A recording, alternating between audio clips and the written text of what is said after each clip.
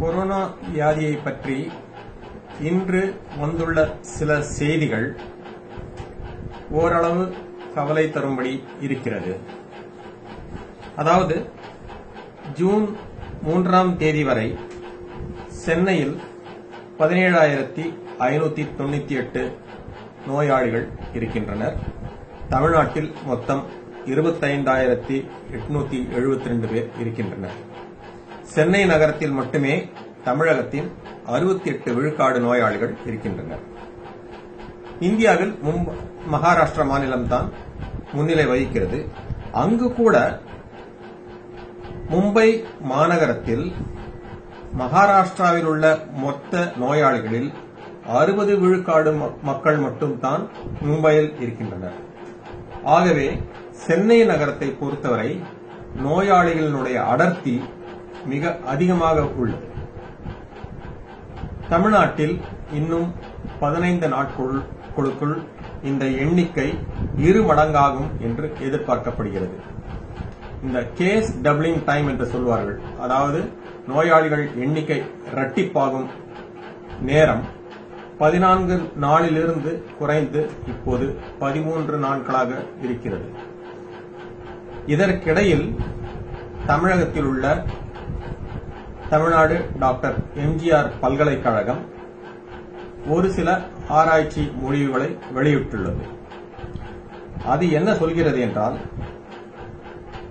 June மாத இறுதிக்குள் தமிழ்நாட்டில் கிட்டத்தட்ட ஒன்று புள்ளி மூன்று லட்சம் நோயாளிகள் இருப்பார்கள் என கணக்கிட்டுள்ளது.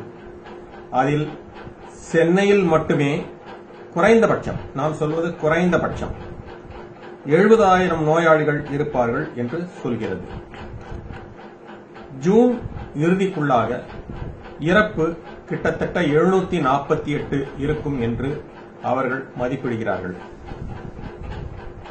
ஆனால் நாம் ஜூன் முடிவுக்குள் இன்னும் ஏறுமுகத்தில் தான் இருக்கிறோம் தவிர இன்னும் நம்மளுடைய கரு வந்து பிளாட்டன் ஆகவில்லை.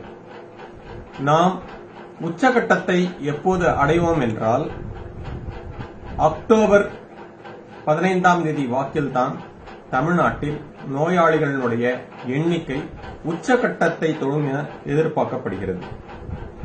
சென்னை மாநகரத்தில் உச்சகட்டம் அக்டோபர் முதல் தேதி வாக்கில் வரும் என்று எதிர்பார்க்கப்படுகிறது. இதெல்லாம் கவலை தரக்கூடிய விஷயங்கள். ஆகவே நாம் குறைந்தபட்சம் அக்டோபர் மாதம் பதினைந்தாம் தேதி வரையிலாவது மிக மிக ஜாக்கிரதையாக இருக்க வேண்டும். நோய் நம்மை தொற்றாமல் பார்த்துக்கொள்ள எல்லாவித எச்சரிக்கைகளும் எடுக்க வேண்டும். அரசாங்கம் இந்த எண்ணிக்கைகளுக்கு தயாராக இருக்க வேண்டும். மிகப்பெரிய அளவில் மருத்துவ கட்டமைப்புகளை உருவாக்க வேண்டும்.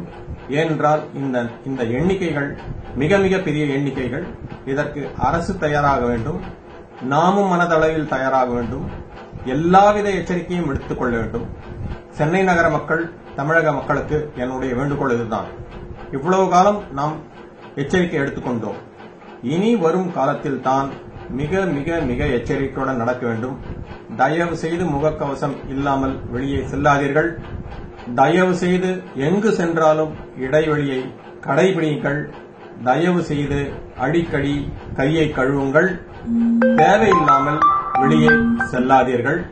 இந்த எச்சரிக்கை எல்லாம் நாம் கடைபிடித்தால் ஓரளவு இந்த நோயை வெற்றிகரமாக எதிர்கொள்ளலாம் என்று நான் நினைக்கிறேன்.